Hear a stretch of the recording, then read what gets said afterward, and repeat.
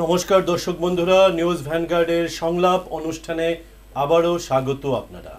সংলাপ ভাবায়, ভাবনা পথ দেখায়। আজকে এই সংলাপ অনুষ্ঠানে আমরা যে বিষয়টি নিয়ে চর্চা হবে, প্যানেলিস্টরা যেই বিষয়টা বিষয়গুলো বিষয়টাকে নিয়ে চর্চা করবেন আপনাদের সামনে, বিষয়টি হলো সামাজিক ভাতা এবং ভাতা নিয়ে রাজনীতি। ত্রিপুরা রাজ্যে বর্তমানে প্রায় তেত্রিশটি। প্রায় না, যদি সংখ্যাটা সম্ভবত সঠিক আছে, তেত্রিশটি ভাতা এ রাজ্যের মানুষের জন্য চালু রয়েছে। এই তেত্রিশটি ভাতার মধ্যে সম্ভবত ত্রিশটি ভাতা কেন্দ্রীয় সরকারের ভাতা, তিনটি ভাতা রাজ্য সরকারের ভাতা। এই ভাতাগুলোর মধ্যে পরিসংখ্যান বলছে যে নাইনটি ইস টু টেন ইস্যুতে অর্থ বরাদ্দ করা হয়। কেন্দ্রীয় সরকার নব্বই শতাংশ টাকা দেয় টেন শতাংশ টাকা দেয় রাজ্য সরকার। এইভাবে ত্রিপুরা রাজ্যে এই মুহূর্তে প্রায় চার লক্ষ মানুষকে ভাতার আওতায় নিয়ে আসা হয়েছে। কোনোটা বয়স্ক ভাতা কোনোটা স্বামী পরিত্যক্তা ভাতা কোনোটা আহ, পরিচায়িকা ভাতা কোনোটা বিধবা ভাতা। এই ধরনের বিকলাঙ্গ ভাতা এই ধরনের অসংখ্য ভাতা প্রায় তেত্রিশটা ভাতা এ রাজ্যের মধ্যে চালু রয়েছে। কিন্তু এই ভাতাগুলো চালু করা নিয়ে কোনো প্রশ্ন নেই। এটা মানুষের প্রতি একটা রাজ্য সরকার বা একটা কেন্দ্রীয় সরকারের নৈতিক দায়িত্বের মধ্যে পড়ে। সুতরাং সেই দায়িত্ববোধ থেকে এই ভাতাগুলো চলবে, এটা নিয়ে সমস্যা নেই। কিন্তু যখন নির্বাচনের আগে এই ভাতাগুলোকে রাজনৈতিক উদ্দেশ্যে ব্যবহার করা হয় যখন নির্বাচনের আগে এটা নিজেদের ক্রেডিট নেওয়ার জন্য এই ভাতাগুলোর প্রচার করা হয় মানে সামাজিক ভাতাগুলোর রাজনীতিকীকরণ করা হয় তখন দাঁড়িয়ে দু চারটা কথা বলার থাকে। এই নিয়েই আজকে আমাদের সংলাপ অনুষ্ঠানের চর্চা। আমি সেবক ভট্টাচার্যি আমাদের সাথে রয়েছেন অন্যান্য প্যানেলিস্টরা। আমি সন্দীপ দত্ত চৌধুরী আমি অরিন্দ জানছি বিশ্বেন্দু ভট্টাচার্য। বিশ্বন্দু শুরু করো। দেখুন কথাটা হচ্ছে একটা রাষ্ট্রের, একটা কল্যাণকামী রাষ্ট্রে জনগণের জন্য প্রকল্প হবে সেটা স্বাভাবিক।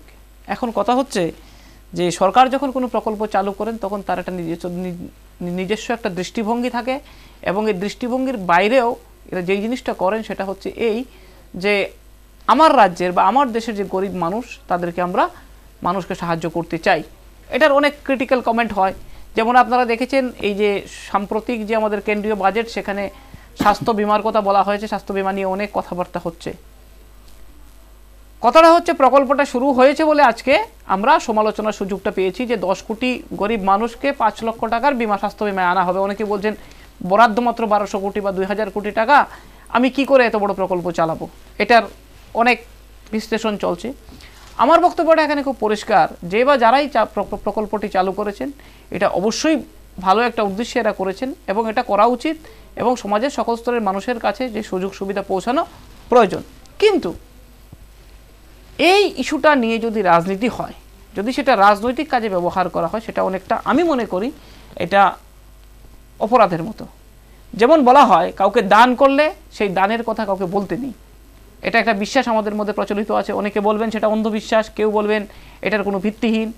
আমরা যুক্তিবাদ, আমরা বিজ্ঞান মনস্ক মানুষ।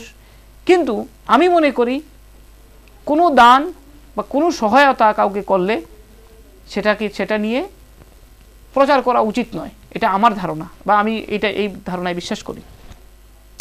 যদি কোনো সরকার সেটা করে থাকেন, সেটা যদি সহায়তার গরিব মানুষের যে যারা সত্যি সত্যিই যাদের এটা নিট ছিল, এদের জন্য যদি করে থাকেন, এটা নিয়ে প্রচারে এনে ভোটের বাজার গরম করা, এটা আমি মনে করি এটা নৈতিকভাবে অন্যায়।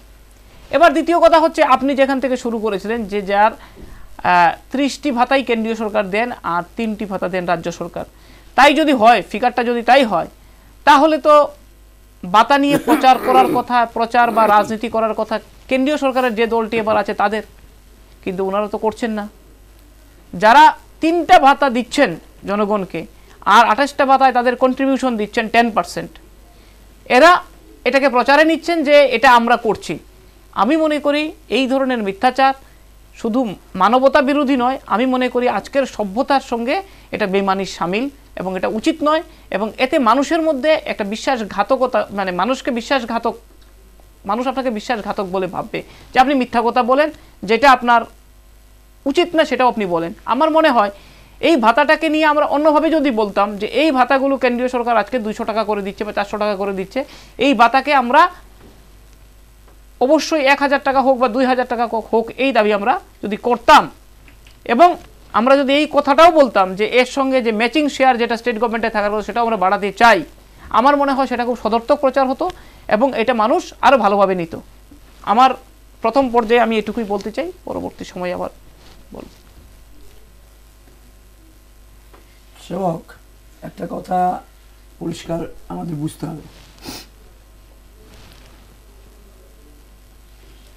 এক্ষুনি আগামী মাসে ফেব্রুয়ারি মানে এই মাসে, ফেব্রুয়ারি মাসে আমরা মূলত তিনটে রাজ্যের নির্বাচনে যাচ্ছি সাবজেক্ট টু কারেকশন পরবর্তী পর্যায়ে দু হাজার মধ্যে আমরা আরও বেশ কয়েকটি রাজ্যে নির্বাচনে যাচ্ছি।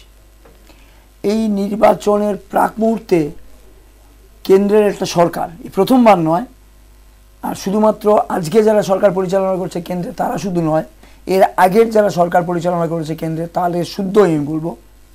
নতুন একটা প্রকল্প চালু করেছে, এক্ষুনি। কি? স্বাস্থ্য বিমা প্রকল্প। সংসদের ফ্লোরে দাঁড়িয়ে, লোকসভার ফ্লোরে দাঁড়িয়ে বিত্তমন্ত্রী বলে দিলেন। পরের দিন আলোচনা উঠল যে এই যে স্বাস্থ্য বিমা প্রকল্প, সেই প্রকল্পের যে প্রিমিয়ামটা কে দেবে? অথচ আগের দিন এই সংসদে দাঁড়িয়ে বা লোকসভার ফ্লোরে দাঁড়িয়ে উনি যখন ঘোষণাটা করলেন তখন কিন্তু আমরা প্রচুর পরিমাণে এইটাকে সাধুবাদ জানিয়েছি যে গরিব অংশের মানুষের স্বাস্থ্যের জন্য পাঁচ লক্ষ টাকা ব্যয় করা হবে। কিন্তু এই পাঁচ লক্ষ টাকা ইন্স্যুরেন্স আমরা সবাই জানি, সাধারণ মানুষ এখন একদম নিম্নবিত্ত লোকজন হোক বা একদম শিক্ষার প্রাথমিক দোরগোড়ায় যারা গেছিল, তারাও জানে যে যে কোনো ইন্স্যুরেন্স পলিসির ক্ষেত্রে একটা প্রিমিয়াম দেওয়ার বিধান রয়েছে। পরের দিন থেকেই আলোচনা শুরু হয়ে গেল যে প্রিমিয়ামটা দেবে কে? রাজ্য সরকার দেবে? কেন্দ্রীয় সরকার দেবে? না যে ব্যক্তি এই সহায়তাটা পাবে সে দেবে। কারণ প্রথম অবস্থায় কত? দশ কোটি।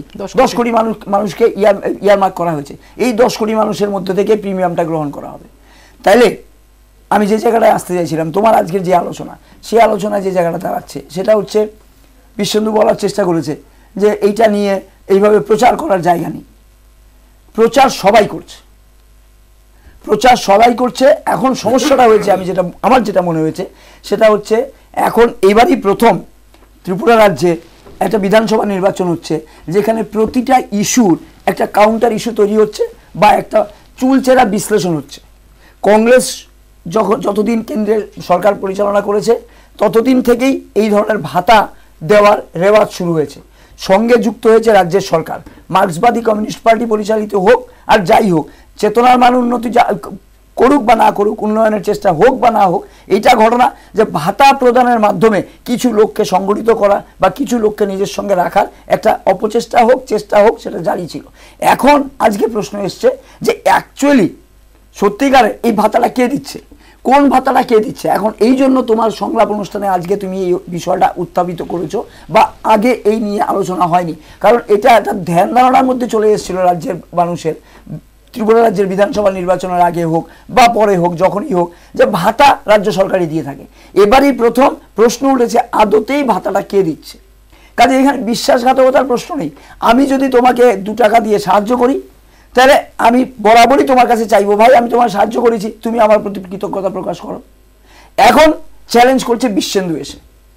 বিশ্বেন্দু বলছে, কে বলেছে? অরিন্দম ভট্টাচ তোমাকে সাহায্য করেছে সেবকবাবু সাহায্য আমারও শেয়ার রয়েছে। তাহলে আমাকে কেন তুমি সাহায্য করবে না? বা আমাকে তুমি কৃতজ্ঞতা প্রকাশ করবে না কেন? সমস্যাটা হচ্ছে এই জায়গাতে। এখন এই ভাতা প্রদান বা ভাতা প্রকল্পগুলি চালু রাখাটা কতটা জাস্টিফাইড আর এগুলো দিয়ে সত্যি সত্যি যে মানুষদের কাছে এই ভাতাটা প্রদান করা হচ্ছে যারাই পাচ্ছে যেভাবেই পাচ্ছে যে মাপকাঠিতেই পেয়ে থাকুক সেটা নিয়েও বিশ্লেষণ হতে পারে। সেটা আদৌ কতটা কার্যকরী হচ্ছে? দুশো টাকা তিনশো টাকা চারশো টাকা পাঁচশো টাকা কি হয় আমার?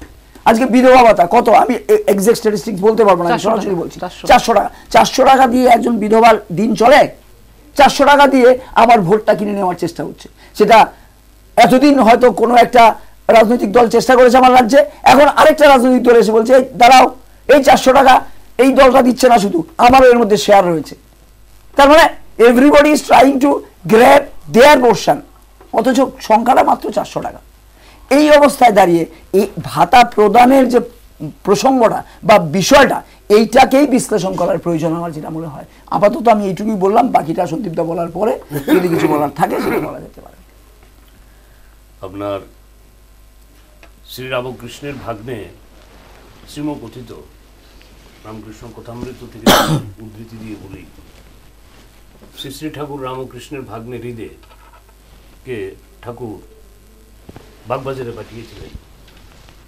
একটি মার জন্যে, শ্রী শ্রী মা সারদার জন্য, একটি কড়াই কিনে আনার জন্য।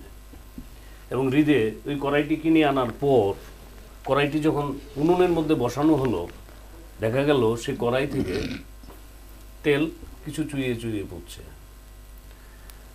তা এই কথা যখন শ্রী শ্রী ঠাকুর রামকৃষ্ণের কাছে গেল, রামকৃষ্ণ জিজ্ঞেস করল, তুই কড়াইটাকে দেখে আনিসনি?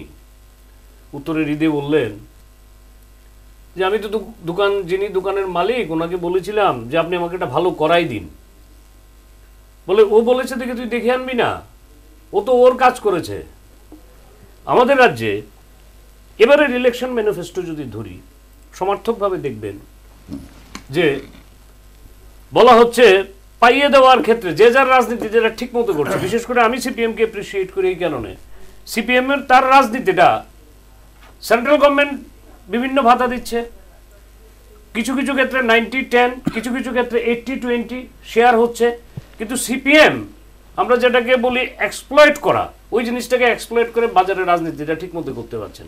ওদের এইবারের ইলেকশন ম্যানিফেস্টোতে যদি সামাজিক ভাতা প্রকল্পের কলামটা দেখি, সেখানে ওরা বলছেন যে কারা পাবে এই সামাজিক ভাতা? সামাজিক ভাতা তো সেবকবাবুর প্রয়োজন নেই সন্দীপ দত্ত চৌধুরীর প্রয়োজন নেই আমার ভাই অরিন্দমের তো একেবারেই প্রয়োজন নেই। হ্যাঁ বিশ্বেন্দুর প্রশ্নই ওঠে না ঠিক আছে? এগুলি বেসিক্যালি প্রয়োজন সমাজের দুর্বল অংশের মানুষের যা those who are living below property line BPL BPL ঠিক আছে? আমাদের রাজ্যের পিকুলারিটিটা দেখুন কারণ এখন right to information act two five আসার পর সবাই খুব সচেতন থাকে লেখাপড়ির ক্ষেত্রে। লেখার টেকার ক্ষেত্রে ফট করে একটা চিঠিপত্র নিয়ে চলে আসবে। আমাদের যখন প্রকল্পগুলি চালু হয়েছিল, সিপিআইএম পার্টির ইলেকশন ম্যানিফেস্টোতে ওরা স্বীকার করেছে, আমাদের ইয়ারস্টিক ছিল বিপিএল তারপরে বলছে, পরবর্তী সময় বিপিএল এর বাধ্যবাধকতা অপসারিত হয়। কেন বাবা? বিলো প্রপার্টি লাইনে সমাজের দুর্বল অংশের মানুষকে নিয়েই তো আপনারা বলেন, মেহনতি মানুষকে নিয়ে। এটাকে সরালেন কেন? তারপরে বলছে, বার্ষিক আয়ের ঊর্ধ্বসীমা ছিল এক লক্ষ টাকা। এই সমস্ত ভাতা তারাই পাবেন, যাদের বার্ষিক আয় এক লক্ষ টাকা। তারপরে লাইন। কিছু ক্ষেত্রে আয়ের ঊর্ধ্বসীমা এক লক্ষ টাকারও বেশি করা হয়।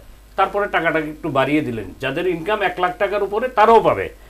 লাস্ট লাইন কিছু ক্ষেত্রে আয়ের কোনো ঊর্ধ্বসীমা নেই। তার মানে আমি সন্দীপ দত্ত চৌধুরী যদি আমি সন্দীপ দত্ত চৌধুরী যদি কোনো ইয়ে চাই আমি যত ইনকাম ট্যাক্স রিটার্ন দিই না কেন? বার্ধক্য ভাতা পেতে পারেন এর বেশি কিছু পাবেন না। না না বার্ধক্য ভাতাটা আমি পেতে পারি তো আই এম এন্টাইটেল এপিএল হলে পরেও। এপিএল হলেও হলে যেহেতু ওরাই বলছেন কি ঊর্ধ্বসীমা রাখাই হয়নি এখন আর ত্রিপুরার যে কোনো ঊর্ধ্বসীমা নেই। ওই জন্যই আপনি পাবেন কি। ঠিক আছে? তার মানে আমি সিনিয়র সিটিজেন যেদিনই হয়ে যাব অন রেকর্ড আমি যদি রাজ্য সরকারের কাছে প্রেয়ার করি যে আমাকে বার্ধক্য ভাতা দিন আমি বার্ধক্য ভাতা এন্টাইটেল হব আমার ইনকাম ট্যাক্সের যত রিটার্নে আমি দেখাই না কেন দশ বছর পর আমার ভাই অনু অরিন্দম হয়ে যাবেন। সেও যদি প্রেয়ার করে সেও পেয়ে যাবেন। ঠিক না? ঠিক না? বসেই আছি ওই জন্য। আপনি বসে আছেন তার জন্য। এই এই লাইনটার জন্য। তার মানে কি? রাজনীতিটা কীভাবে করা হচ্ছে? That is a very serious issue শ্যামবাবু কিছুক্ষণ আগে আমাকে একটা জিনিস দেখাচ্ছিলেন। সম্ভবত ডেটটা তেরো এগারো দুই হাজার সতেরো। সম্ভবত ডেট তেরো এগারো দু হাজার সতেরো। Unstarred question before our legislative assembly by one MLA one MLA এই প্রশ্নটা করেছিলেন রাজ্যের প্ল্যানিং অ্যান্ড কোঅর্ডিনেশন মিনিস্টারের কাছে। যে মাননীয় মন্ত্রী, আপনি উত্তর দিন। প্রশ্ন নাম্বার একে বলেছিল, কেন্দ্রীয় সরকারের কতগুলি স্কিম এই রাজ্যে প্রবর্তিত আছে? উত্তরে মন্ত্রী বলছেন, বর্তমানে কেন্দ্রীয় সরকারের একশো আটানব্বইটি স্কিম রাজ্যে প্রবর্তিত আছে। কিছুক্ষণ আগে সেবক সেবক ভট্টাচার্য যেটা বলছিলেন প্রারম্ভিকভাবে যে নাইনটি টেন নাইনটিতে যদি সেন্ট্রাল গভর্নমেন্টের কন্ট্রিবিউশন থাকে টেনে স্টেট গভর্নমেন্টেরও আছে, তো সমসাময়িকভাবে দুজনেই প্রচার করতে পারেন। রাজ্য সরকার এমনভাবে প্রচারটা নিচ্ছেন, আমি বলছি তো, রাজনীতিটাকে তারা রাজনীতির মতোই করেন। সেখানে মাঝখানে কাউকে ছেড়ে দেওয়ার মতো কোনো স্কোপ নেই। দিচ্ছেন টেন পার্সেন্ট কিন্তু বলে বেড়াচ্ছেন যে আমি তো হান্ড্রেড পার্সেন্ট তারপরে রাজ্য সরকার প্রশ্ন করছেন মন্ত্রীকে, এই স্কিমগুলিতে কেন্দ্র এবং ত্রিপুরা সরকারের শেয়ার কার কত? মাননীয় মন্ত্রী উত্তর করছেন, কিছু কিছু সেক্টরের ক্ষেত্রে কেন্দ্রীয় সরকার হান্ড্রেড পার্সেন্ট বহন করে। কোথাও কি বলেছেন, কোনো ইলেকশন ম্যানিফেস্টোতে রাইট ফ্রম নাইনটিন যদি ধরি ninety eight two thousand three two thousand eight two thousand thirteen যে আমরা এই এই স্কিমগুলিতে তো এই ভাবের করে চুরি কেন? যে আমরা হান্ড্রেড পার্সেন্ট দিই কেন্দ্রীয় সরকার নাইনটি পার্সেন্ট দেন কেন্দ্রীয় সরকার এইট্টি পার্সেন্ট দেন। এরপরের লাইনটা পড়ুন। এরপরের লাইনটা আরও ইন্টারেস্টিং মাননীয় মন্ত্রী এই প্রশ্নের উত্তরে সাব আনসারে বলছেন সাপ্লিমেন্টারি অন্যান্য স্কিমের ক্ষেত্রে কেন্দ্রীয় রাজ্য সরকারের শেয়ার নাইনটি টেন হলেও কিছু কিছু ক্ষেত্রে কেন্দ্র সরকারের শেয়ার হচ্ছে এইটটি টোয়েন্টি কেন্দ্র রাজ্য। কেন্দ্র রাজ্যের শেয়ার হচ্ছে এইটটি টোয়েন্টি আর পরের প্রশ্নটা যদি যায় তাহলে যে কেন্দ্রীয় বঞ্চনা টঞ্চনা এটা পলিটিক্যাল কথা হয়ে যাবে যে কোনো সিপিএম এর দর্শক শুনলে বলবে সন্দীপ বাবু আর সেবক বাবু তারা মিলে ভ্যানগার্ডে এর পলিটিক্যাল বক্তৃতা দেয়। পরেরটা যদি বলি কেন্দ্রীয় বঞ্চনা মন্ত্রী উত্তর দিচ্ছেন কত হাজার হাজার কোটি টাকা বিভিন্ন ফিনান্সিয়াল ইয়ারে স্কিমের আন্ডারে এইগুলি ভাতা ভাতা দেওয়ার জন্য পেয়েছেন। ছয় হাজার কোটি টাকা।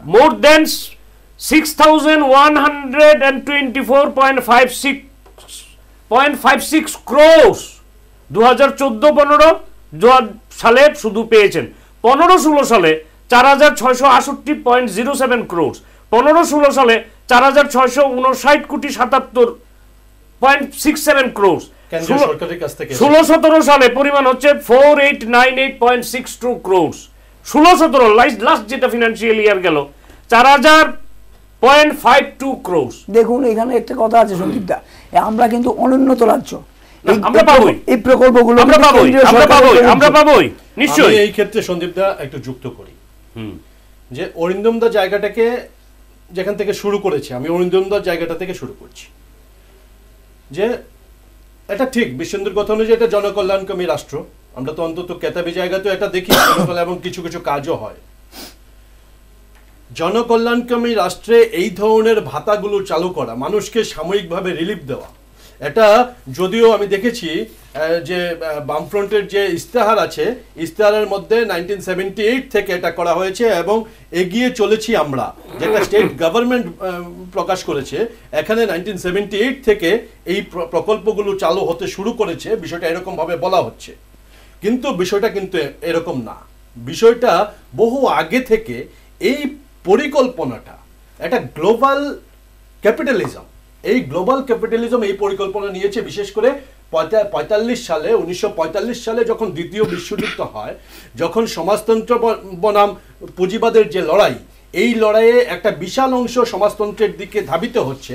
এই সময় দাঁড়িয়ে পুঁজিবাদ সাময়িকভাবে রিলিফ দেওয়ার জন্য যে কৌশল, সেই কৌশল গোটা বিশ্ব জুড়ে রপ্ত করার জন্য এগিয়ে গেছে। তারপর থেকে ইন্দিরা গান্ধীর সময়ও প্রচুর স্কিম, ছোটখাটো স্কিমগুলো চালু হয়েছে। যদিও এই স্কিমগুলো সেভেন্টি এইটে নৃপেন চক্রবর্তীর নেতৃত্বে যখন এখানে বামফ্রন্ট সরকার হয়েছে, প্রথম বামফ্রন্ট সরকার, প্রথম বামফ্রন্ট সরকার খুব সম্ভবত, আমি যদি ভুল না করি, তিনটা এরকম স্কিম, সামাজিক ভাতা, এরকম বিষয়গুলো চালু করেছিল। তো এগুলো বাড়তে বাড়তে এখন তেত্রিশটা ভাতা হয়েছে। এই জায়গায় রাজ্য সরকার রাজ্য সরকার, আমি যদি ধরি যে ম্যানিফেস্টো সিপিআইএম এর ম্যানিফেস্টো ম্যানিফেস্টোতে একটু টুইস্ট করে দিয়েছে। তাহলে ধরা যেত যে হ্যাঁ ঠিক আছে, রাজনৈতিক দল রাজনীতি করার জন্য এটা করছে। বাট রাজ্য সরকার গভর্নমেন্ট আমাদের ট্যাক্সের টাকায় তাদের প্রত্যেকের বেতন গোনা হয়। তারা যেই সরকারের টাকায় যেই বই প্রকাশ করেছে, এগিয়ে চলেছি আমরা। এখানে কীরকম ভাবে এই সামাজিক ভাতা নিয়ে টুইস্ট করেছে একবার দেখুন। লিখছে এখানে লিখছে যে তিনটি কেন্দ্রীয় প্রকল্প সহ রাজ্যে চালু মোট তেত্রিশটি সামাজিক ভাতাগুলো হলো ইন্দিরা গান্ধী জাতীয় বয়স্ক ভাতা, ইন্দিরা গান্ধী জাতীয় বিধবা ভাতা, এরকম করে তেত্রিশটা ভাতা আছে। বলছে তিনটা কেন্দ্রীয় প্রকল্প সহ সহ রাজ্যে চালু মোট তেত্রিশটি সামাজিক ভাতাগুলো। মানে বিষয়টা কি দাঁড়াল? এই কথাটা যদি কেউ পড়ে, তাহলে বোঝা যাবে যে রাজ্যের মধ্যে কেন্দ্রীয় সরকারের অলমোস্ট কোনো কন্ট্রিবিউশনই নেই। নেই এবং মাত্র তিনটি ভাতা চালু আছে।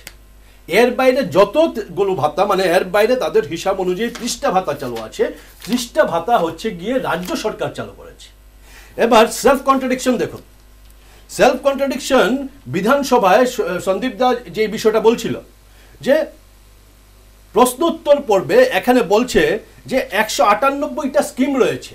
এবার social welfare scheme social welfare স্কিমের মধ্যে দিয়ে বয়স্ক ভাতা, বিধবা ভাতা, বিকলাঙ্গ ভাতা, স্বামী পরিত্যক্তা ভাতা পরিচায়িকা ভাতা, এই ভাতাগুলো সোশ্যাল ওয়েলফেয়ার স্কিমের মধ্যে দিয়ে দেওয়া হয়।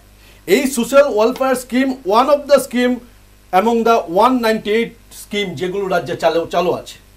এইবার বিধানসভার ফ্লোরে মন্ত্রীর দেওয়া তথ্য বলছে যে এগুলোর মধ্যে সেন্ট্রাল সেক্টর স্কিমের ক্ষেত্রে কেন্দ্রীয় সরকার একশো পার্সেন্ট বহন করে। আর হচ্ছে অন্যান্য স্কিম মানে একশো আটানব্বইটার মধ্যে যেই কয়েকটা শুধুমাত্র সেন্ট্রাল গভর্নমেন্টের এগুলো কেন্দ্রীয় সরকার পুরো টাকা একশো পার্সেন্ট টাকা বহন করে। বাকি যে স্কিমগুলো আছে, সবগুলোতে হয় নাইনটি ইস টু টেন অথবা এইটটি ইস টু টোয়েন্টি মানে কেন্দ্রীয় সরকার এইটটি আশি টাকা দেয়, রাজ্য সরকার বিশ টাকা দেয়, আর বেশিরভাগ ক্ষেত্রে নব্বই টাকা কেন্দ্রীয় সরকার দেয়, দশ টাকা রাজ্য সরকার দেয়। তাহলে এখানে কোথাও কিন্তু আলাদা করে রাজ্য সরকারের কোনো স্কিমের কথা উল্লেখ হয়নি। এখানে কোনো স্কিম এরকম নেই যেটা রাজ্য সরকার শুধুমাত্র টাকা বহন করে, এটা এই দুটো তথ্যকে টালি করলেই কিন্তু ক্লিয়ার হয়ে যায়। কিন্তু আমার প্রশ্ন হলো যে এই কাজগুলো জনকল্যাণকর্মী রাষ্ট্রের কাজ। রাজনীতি যদি করতে হয়, রাজনীতি করো, আমি করেছি। এবার টেন পার্সেন্ট দিয়ে এক, একশো পার্সেন্টের ক্রেডিট নেওয়া টোয়েন্টি পার্সেন্ট দিয়ে একশো পার্সেন্টের ক্রেডিট নেওয়া। আর যারা আশি পার্সেন্ট নব্বই পার্সেন্ট টাকা বরাদ্দ করল, তাদেরকে একবারে ছুঁড়ে ফেলে দেওয়া শুধু এই সাম্প্রদায়িক টাম্প্রদায়িক এই সমস্ত কথা বলে। একটা একটা সুস্থ জায়গা থেকে সুস্থ সমাজের বিচারে কিন্তু এটা হওয়া উচিত না। এবং মানে এটা মিথ্যা কথা বলা চলে। কারণ এই জায়গা নিয়ে যখন রাজনীতি করা হয়, শুধু রাজনীতি না কেরকম ভাবে মানে এখানে ডিমোরালাইজ করা হয় এনকেশ করতে পারলে কি করবে? তো মাইলিজ নেবেই। হ্যাঁ, বিজেপি যদি এনকেশ না করতে পারে ওটা বিজেপির বিষয় ওটা বিজেপি ওটা বিজেপি ওটা বিজেপির বিষয় কিন্তু মানে যে বিষয়টা মানে সবচেয়ে আশ্চর্য হওয়ার বিষয় সন্দীপ দা হ্যাঁ। যে এখানে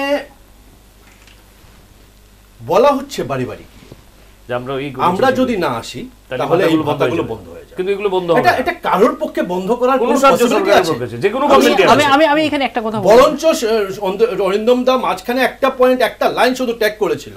এগুলো বঞ্চিত হয়েছে কীভাবে? এটা নিয়ে প্রশ্ন আছে অবভিয়াসলি না আমি আমি আমার আমার এখানে একটা আমার এখানে একটা বক্তব্য হচ্ছে এই যে যদি বন্ধ হয় বা শুরুই হলো বা বন্ধই হলো যাই হলো এখানে যেই কথাটা প্রাসঙ্গিক সেটা হচ্ছে এই যে আপনি যে আমার আমাকে যেই টাকাটা দিলেন এইটার ইউটিলিটি আমার কাছে কি?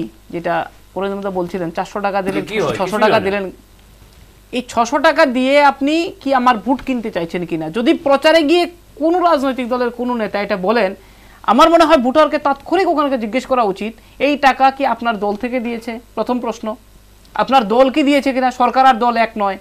এটা ভারতবর্ষের গণতান্ত্রিক ব্যবস্থা এটা পরিষ্কার। দল সরকার বানায় কিন্তু দল সরকার চালায় না। বিশ্বন্দে একটা শব্দ আমি ইউজ করতে চাই জানি না আপনারা একমত হবেন কিনা। যদি এটা নিয়ে রাজনীতি করা হয় ভোটের ভোটের বাক্সে ক্যাশ করার জন্য বিকৃত প্রচার করা হয় তাহলে এই বিষয়ে বলতে হবে সরকারি উদ্যোগে নির্বাচনী ডোল বন্টন করা হচ্ছে। না সেটা সেটা তো আচরণ বৃদ্ধির মধ্যেও পড়ে। আমি বলছি যে দল সরকার তৈরি করে কিন্তু সরকার দল দিয়ে দল চালায় না। মানে এটা আলাদা দুইটা সেপারেট এন্টিটি কিন্তু এখন কথা হচ্ছে যে যদি কেউ বলেন যে আমরা আসলে এটা বন্ধ হয়ে যাবে, এটা মিথ্যাচার। এবং এখানে ভোটারদের এই প্রশ্নটা অবশ্যই করা উচিত যে আপনি যে আমাকে দিয়েছেন, এটা দিয়ে আমার কি হয় সেই জিনিসটা একটু ভাবার চেষ্টা করুন। পারলে আমার এটা বন্ধ করার কথা তো অনেক দূরের কথা, আমাকে বাড়িয়ে দিন। এই প্রশ্নটা থাকা উচিত আমি মনে করি। এবং সামাজিক ভাতা আপনি কেন দিচ্ছেন? এখন আমি যদি এই প্রসঙ্গে যাই, আপনি কেন দিচ্ছেন? আপনি সমা- সামাজিক ভাতা দিচ্ছেন এই কারণে যে আপনি কি আমাকে কর্মসংস্থানের সুযোগ করে দিতে পারছেন না? এই জন্য দিচ্ছেন। কেন দেবেন আমাকে সমস্যা সামাজিক ভাতা? এই যে স্বামী পরিত্যক্তা ভাতা আমরা জানতাম যে ডাইন হার্নেস বলে একটা স্কিম স্কিম একটা ব্যবস্থা ছিল যেখানে চাকরি পাওয়ার সুযোগ ছিল। শিক্ষিত মহিলা যার যার শিক্ষাগত যোগ্যতা অনুযায়ী কাজ পেতেন। বা আমাদের এখানে যদি ব্যবসার পরিমণ্ডল থাকতো তাহলে এই চারশো টাকার ভাতা আমি জানি না ভারতবর্ষের আর কোন কোন স্টেট এগুলো নিচ্ছে। আমরা সবসময় প্রচার করি এবং এটা যে নেগেটিভ প্রচার শুনে বুঝেও করি না বুঝেও করি অনেক সময়। আমরা বলছি ভাতা প্রদানের ক্ষেত্রে আমরা সর্বসবার সামনে। এটা তো উল্টা হয়ে যাচ্ছে যে ভাতা নেওয়ার মতো লোক? মানে আমার রাজ্যে এটা নেওয়ার লোক বেশি। এটা তো আপনি আমি উপলব্ধি করি দেখে। বলা হচ্ছে কমিটির নেতা বলছে আমরা রেগাতে না, ফার্স্ট মানে কি? মানুষের অর্থনৈতিক অবস্থাটা কত নিচে নামিয়ে নিয়ে এসছে এটা উন্নত এটা করেনি এটা তো- এটা তো উল্টা প্রচার হয়। আমার মনে হয় আমার মনে হয় রাজনৈতিক ফাঁস। নেতাদেরও এই এই ব্যাপারটা একটু মূল্যায়ন করা উচিত যে আপনি ভালোর জন্য বলতে গিয়ে তো খারাপ হয়ে যাচ্ছে। মানুষের সামনে আপনি রাজ্যটাকে নিচে ফেলে দিচ্ছেন। আপনি যখন বলছেন রেগাতে আমরা বিশ্বন্দু আমি সেবকের অনুমতি না নিয়েই বলছি এই জায়গাটা একটু উল্টো দিকে রয়েছে। আমি প্রথমে যে কথাটা বলার চেষ্টা করেছিলাম সংলাপ অনুষ্ঠানে আজকে এই ভাতা প্রদান নিয়ে যে আলোচনাটা আমরা করছি কেন করছি? এই ভাতাগুলো মূলত একটা জিনিস পরিষ্কার হয়ে গেছে এই পুঁথিপত্র তথ্য যা আছে তাতে করে যে গোটা বিষয়টার উৎপত্তিস্থল বা উৎস হচ্ছে কেন্দ্রীয় সরকার। এই রাজ্যে একটা বিশেষ রাজনৈতিক দল নিজেদের মানে ঘরে ঝোলটা টানতে চাইছে। আমরা এটা নিয়ে বিতর্ক করছি। এখন প্রশ্নটা হচ্ছে এই প্রকল্পগুলি শুধুমাত্র ত্রিপুরার জন্য প্রযোজ্য নয় গোটা দেশের জন্য প্রযোজ্য। এখন গোটা দেশে আর বাকি কটা রাজ্যের বিধানসভা? তুমি একজন সাংবাদিক মানুষ। সেবকতাই। তুমি বলো তথ্য দিয়ে যে কটা রাজ্যে এই ভাতা প্রদান নিয়ে এই ধরনের অনুষ্ঠান বা চুলচেরা বিশ্লেষণ হয়েছে? হয়নি। আমি বলছি শেষ করে নিই আমি। আমি ছোট্ট করে শেষ করে দেবো তারপর তুমি বলো। হয়নি। এখানে কেন হচ্ছে? এখানে একটা কারণেই হচ্ছে। যে কথাটা সেবক একটু আগে বলার চেষ্টা করছিল যে ওই সোভিয়েত ব্লককে আটকানোর জন্য মার্কিন সাম্রাজ্যবাদ বা আমেরিকাতেই এই সোশ্যাল ওয়েলফেয়ার কিছু প্রজেক্টস প্রোগ্রামস ইনিশিয়েট করা হয়েছিল ট্রেড ইউনিয়ন ট্রেড ইউনিয়ন মুভমেন্টটাকে বন্ধ করে দেওয়ার জন্য বা এটাকে নিজেদের ভেতরে নিয়ে আসার জন্য বা নিজেদের দখলে রাখার জন্য। এটা একদম সঠিক কথা বলেছে সে। এখন প্রশ্নটা হচ্ছে, আমি যে কথা বলছিলাম, যে উনিশশো আটাত্তর সাল থেকে দু হাজার এগারো সাল অবধি প্রতিবার পশ্চিমবাংলায় একটা রাজনৈতিক দল, বিশেষ রাজনৈতিক দল প্রতিবার নির্বাচনে জয়ী হয়েছে, সরকার গঠন করেছে আর নির্বাচনে জয়ী হওয়ার পরেই বলেছে মানুষের চেতনার মানের উন্নত উন্নত চেতনার মানের প্রকাশ। এবং আমাদের উপর আরও নতুন দায়িত্ব, বাড়তি দায়িত্ব দেওয়া হলো। দু হাজার এগারো সালের যখন উল্টো হয়ে গেল ঘটনাটা, তখন কিন্তু আর বলেনি চেতনার মান কোথায় গেল। তাহলে রাতারাতি চেতনার মানটা পরিবর্তন হয়ে গেছে? একদম না। যেটা ঘটনা, সেটা হচ্ছে দিস ইজ দ্য আউটকাম আটাত্তর সাল থেকে দু হাজার এগারো আর আটাত্তর সাল থেকে দু হাজার দশ বা সরি আটাত্তর সাল থেকে অষ্টআশি, উনিশশো অষ্টআশি, তারপর তিরানব্বই সাল থেকে আজকে দু হাজার আঠারো অবধি।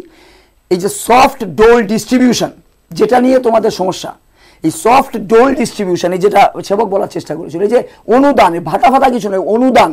অনুদানের যে ডিস্ট্রিবিউশনটা এই ডিস্ট্রিবিউশনটা এই রাজনৈতিক দলটা যথেষ্ট পরিমাণে অন্য যে কোনো রাজ্যের যে কোনো সরকারের তুলনায় অনেক ভালোভাবে করতে পেরেছে। এই জন্যই এই সরকারটা এখন অব্দি টিকে আছে। এখন তুমি বিশ্লেষণ করো, এবার তোমরা আলোচনা করো, দাঁড়িয়ে সাংবাদিক রয়েছে তোমরা, আইনজীবী রয়েছেন উনি, বিশ্লেষণ করো যে এবারে এই হ্যাঁ আমি প্রথমেই বলেছিলাম যে এই ডিস্ট্রিবিউশনটার ক্ষেত্রে আদতে এই পয়সাটা কার? বিশ্বেন্দুর, অরিন্দমের সন্দীপদার না সেবকের, এই বিস- মানে তর্কটা এই আলোচনাটা ক্লেমটা এতদিন কেউ করেনি। কংগ্রেস এমন একটা দল যারা জমিদার, কিছু নিয়ে যাও কোনো অসুবিধা নেই। এবারই প্রথম একটা একটা দল এসে দাঁড়িয়ে বলছে, দাঁড়াও, এটা শুধু মানিক সরকারের ইয়ে নয়, টাকা নয়, এটাতে মোদির টাকা রয়েছে, মোদির অনুদান রয়েছে, মানিক সরকার দশ টাকা দিয়েছে, মোদি দিয়েছে নব্বই টাকা। এই বিশ্লেষণটা এসছে। কেন? কারণ এইটা আজকে যারা প্রধান বিরোধী দল হিসেবে নিজেদের প্রতিপন্ন করার চেষ্টা করছে দু হাজার আঠারোর বিধানসভা নির্বাচনের প্রাকলগ্নে দাঁড়িয়ে তাদের কাছে ওটা মনে হয়েছে এটা বুঝতে পেরেছে যে এই যে ডোল ডিস্ট্রিবিউশনটা যে systematic way of distributing the dole কার টাকা সেটা পরের কথা। আমার দিকে তো আমি ঝোল টানবই। সেবক ভট্টাচার্য একটা সময় ব্ল্যাক মাউথ ক্লাবের কর্মকর্তা কর্মকর্তা ছিলেন। মাঠে নেমেছে ফুটবল খেলতে ওনার টিম উল্টো দিকে হচ্ছে এগিয়ে চলো ক্লাব বা লাল বাহাদুর সংঘ। লাল বাহাদুর সংঘ। এরা যদি ঠিকঠাক ডিফেন্স না তৈরি করতে পারে গোল দেবেই। তো গোল দেওয়ার পরে যদি গোল দেওয়ার পরে যদি কেউ প্রশ্ন তোলে সেবক লাল বাহাদুরের তো ডিফেন্সটা ভালো ছিল তাই তুমি জিতে গেছো আরে ও তো ওর মধ্যে ultimately the net result is that the net point is that আছে। সন্দীপ দা, জিতেছে সন্দীপ আচ্ছা। আমি যেটা আমি. বলেছি এখনও সেটা বলি যে প্রারম্ভিকভাবে যে কথাটা বলেছিলাম যে রাজনীতিটা রাজনীতির মতোই করতে হয় সিপিএম এই ভাতা টাতা নিয়ে যে রাজনীতি পাইয়ে দেওয়ার রাজনীতি এটা কিছু সমাজের আগে ছিল ইয়ারস্টিক বিলো প্রপার্টি লাইন তারাই এটাকে উচ্ছেদ করেছে এক লক্ষ টাকা, সেটার ঊর্ধ্বসীমাকে বাড়িয়ে দিয়েছে, তারপরে বলেছে কোনো ঊর্ধ্বসীমাই থাকবে না। এটা একটা সেক্টর আমি কন্ট্রাক্টারি করলে আমাকে পাইয়ে দেওয়ার রাজনীতি। আমি ব্যবসা করলে আমাকে পাইয়ে দেওয়ার রাজনীতি। আমি হগব করলে আমাকে বিনা বদলি করার পাইয়ে দেওয়ার রাজনীতি। অন্যকে ধমক দেওয়ার রাজনীতি। আমি দশ হাজার তিনশো তেইশ থেকে চাকরি থার্টি ফার্স্ট ডিসেম্বরে চলে যাবে, জানার পরে ইলেকশন ফান্ডে টাকা আদায়ের রাজনীতি। এই যে পাইয়ে দেওয়ার রাজনীতি সর্বত্র।